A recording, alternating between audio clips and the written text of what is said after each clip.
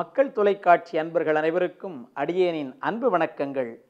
எம்பெருமான் முருகனின் தனிப்பெரும் கருணையினாலே அருணகிரிநாதப் பெருமான் இயற்றிய கந்தர் அலங்காரத்தினுடைய சிறப்பினை பற்றி கந்தனும் கவசமும் என்கிற நிகழ்ச்சியில் உங்களை சந்திப்பதில் பெரும் மகிழ்ச்சி அடைகிறேன். அந்த வகையில் இன்றைக்கு மலையாறு கூரட வேல்வாங்கி நானை வணங்கி அன்பின் நிலையான மாதவம் செய்குமினோ நும்மை நேடி வரும் தொலையா வழிக்கு பொதிசோறு முற்ற துணையும் கண்டீர். இலையாயினையும் வெந்தது ஏதாயினும் பகிர்ந்து ஏற்றவர்க்கே என்று இந்த பாடலிலே மிக அருமையாக பாடியிருக்கிறார்கள்.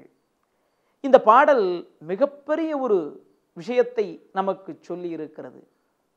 இந்த மனிதனாக இருக்கக்கூடிய நாம் இந்த இறைவனை எப்படி அடைய முடியும்? இறைவனுடைய அருளை நாம் எப்படி பெற முடியும் என்பதை இந்த பாடல் சொல்லியிருக்கிறது. அது மட்டுமல்ல இந்த உலகத்திலே நாம் பிறருக்கு எப்படி உதவி செய்ய வேண்டும் என்பதையும் மிக அருமையாக சொல்லியிருக்கிறார்கள். அதைதான் மலையாறு கூறல வேல்வாங்கி நானை வணங்கி அன்பின் நிலையான மாதவம் செய்குமினோ. அன்பால் இறைவனை வணங்கக்கூடியவர்களுக்கு மட்டுமே இறைவன் தனிப்பெரும் கருணையினாலே நம்மை ஆட்கொண்டு அவனுடைய அருள் நமக்கு கிடைக்கும். அன்பில்லாமல் வெறும் பகட்டினால் இறைவனை வணங்கக்கூடியவர்களைக் கண்டு இறைவன் சிரிப்பானாம். பொதுவாக வாழ்க்கையிலே அன்பில்லாமல் ஏதோ இறைவனை வணங்க வேண்டும் என்கிற அந்த எண்ணத்தோடு நாலு பேருக்கு தெரிய வேண்டும் என்கிற அந்த எண்ணத்தோடு நாம் இறைவனை வணங்கி கொண்டிருந்தால் அந்த இறைவன் நம்மை பார்த்து ஏளனமாக சிரிப்பான் என்று கூறுகிறார். அதனால் எப்படி வணங்க வேண்டும்? அன்பால் வணங்க வேண்டும். அன்பால் உருகி குழைந்து நாம் இறைவனை வணங்கினால் அந்த இறைவன் நமக்கு அருள் தருவான் நிலையான அருளை தருவானாம் நிலையான முக்தியை தருவானாம். அந்த முக்தியை பெறக்கூடிய நாம் எதை செய்ய வேண்டும் இந்த வாழ்க்கையிலே என்று சொன்னால் தொலையா வழிக்கு நம்மை நேடி வரும் தொலையா வழி வழிக்கு என்று சொன்னால் அந்த யமன் நம்முடைய உயிரை எடுத்து கொண்டு செல்லும் பொழுது மிகவும் கடினமான பாதைகளிலே நாம் செல்லக்கூடிய நிலை நமக்கு ஏற்படுமாம் உண்ண உணவு இருக்காது குடிக்க நீர் இருக்காது. அப்படி அந்த தொலையாத வழியிலே நாம் செல்லும் பொழுது நம்மை எது காக்கும் தெரியுமா? நாம் முன்பு செய்த அந்த உதவி பிறருக்கு செய்த அந்த உதவியானது நம்மை காக்குமாம். ஆகையினாலே உதவி செய்து வாழ வேண்டும். ஏழைகளுக்கு உதவி செய்து நம்முடைய வாழ்க்கையை வாழ வேண்டும் என்பதை அருணகிரிநாத பெருமான் இந்த பாடலிலே மிக அருமையாக நமக்கு தந்திருக்கிறார்கள். ஏழைகளுக்கு எப்படி உதவி செய்ய வேண்டும் என்று சொன்னால் உணவு வேண்டும் என்று நம்மிடத்திலே வந்து கேட்கக்கூடிய அந்த யாசகர்களுக்கு அந்த வறிஞர்களுக்கு ஏதாவது ஒரு உணவை நாம் அவர்களுக்கு வணங்க வேண்டும். வெந்தது ஆயினும் வேகாதது ஆயினும் ஒரு சிறிய இலையேனும் நாம் அவருக்கு வணங்க வேண்டுமா? ஒன்றை தெரிந்து கொள்ள வேண்டும். இன்றைக்கு யாசகம் கேட்டு பலரும் வருகிறார்கள். ஆனால் உண்மையாக யாசகம் கேட்டு வரக்கூடியவர்களுக்கும் நாம் சரியாக அந்த யாசகத்தை வழங்குவது கிடையாது.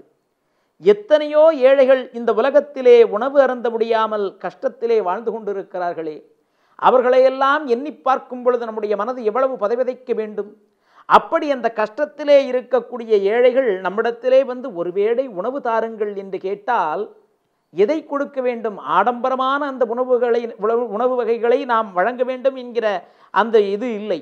ஆனால் ஒரு சிறிய இலையேனும் வழங்குங்கள் என்று சொல்கிறார். உணவு இல்லை என்று சொல்லி யாசகம் கேட்பவர்களை அனுப்பிவிடக்கூடாது. அது மிகப்பெரிய பாவம்.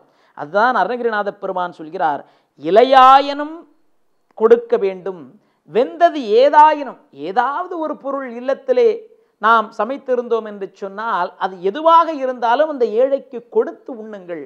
அப்படி நீங்கள் அதை செய்தீர்கள் என்று சொன்னால் உம்மை நாடி வரக்கூடிய அந்த தொலையா வழி அந்த வாழ்க்கையிலே இறுதியிலே இறந்து அந்த யமன் நம்மை அழைத்து செல்லக்கூடிய கூடிய அந்த வழியிலே நாம் இந்த ஏழைகளுக்கு உதவி செய்த இந்த உதவியானது புண்ணியமாக வந்து நமக்கு சேர்ந்து அங்கே நம்மை காக்கும்.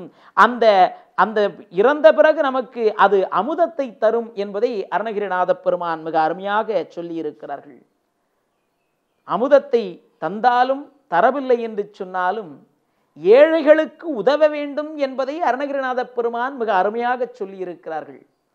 உண்மையான அன்பால் இறைவனை நினைக்க வேண்டும் என்பதையும் இந்த பாடலிலே சொல்லியிருக்கிறார்கள். ஆகையினாலே இந்த பாடல் மிக அருமையான ஒரு மூன்று விஷயங்களை நமக்கு தருகிறது.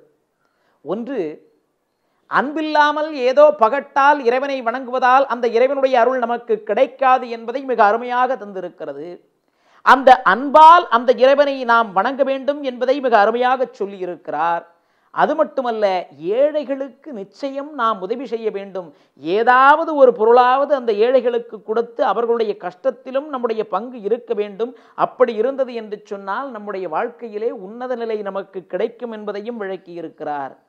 அது மட்டுமல்ல அன்போடு நிலையான மாதவம் செய்தால் அந்த இறைவனுடைய தனிப்பெரும் கருணை நமக்கு கிடைக்கும் என்பதையும் இந்த பாடலில் மிக அருமையாக நமக்கு அருணகிரிநாத பெருமான் தந்திருக்கிறார்கள். ஆகையினாலே இந்த பாடலை பாராயணம் செய்வதனால் வாழ்க்கையிலே பிறருக்கு உதவி செய்து வாழக்கூடிய ஒரு எண்ணம் நம்முடைய மனதிலே ஏற்படும் என்பதிலே எந்த விதமான மாற்று கருத்தும் கிடையாது. ஆகையினாலே அன்பால் இறைவனை வணங்குவோம். நிலையான அந்த பக்தியை அந்த இறைவன் மீது செலுத்துவோம். நம்மால் இயன்ற உதவியை நம்மால் இயன்ற பொருளை ஏழைகளுக்கு தியானம் செய்வோம். வறிஞர்களுக்கு அந்த பொருட்களை நாம் தானம் செய்து அவர்களுடைய அந்த ஆசிகளையும் பெறுவோம். முருகனுடைய தனிப்பெரும் கருணையையும் பெறுவோம். அருணகிரிநாத பெருமானுடைய பாதார விந்தத்தையும் சரணாகதி அடைவோம். நன்றி வணக்கம்.